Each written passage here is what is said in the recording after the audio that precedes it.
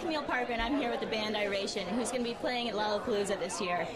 Hey guys, Hello. would you mind introducing yourselves? Yeah, I'm Micah. I'm Adam. Kai. Joe. Cayson. Very nice to meet you guys. So you excited to be here at Lollapalooza? Definitely. We're stoked. We're uh, first time, so we're really First time. here. Where are you guys from? We're all from Hawaii. Uh, we live in Santa Barbara, California. Neither one of those is a bad place.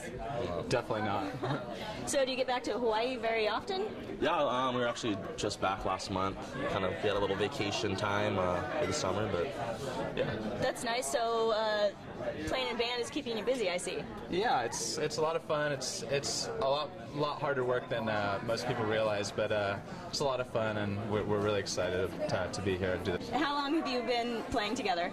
Um, we formed in 2005. We were all uh, attending a UCSB in Santa Barbara uh, and started the band in college. And once we graduated, it just you know started uh, turning into more of a career for us, and uh, here we are. So have you been playing mostly around California, or have you been touring the country? What do you guys What have you guys been doing? Well, we, we started in California and then we kind of branched off and done done a few national tours now and we're headlining nationally now. So yeah, we'll be back in Chicago actually in October. So um, it's kind of sucks because we really want to see My Morning Jacket, but they're playing at the same time as Eminem, so it's like you have to make these really tough tough decisions, you know.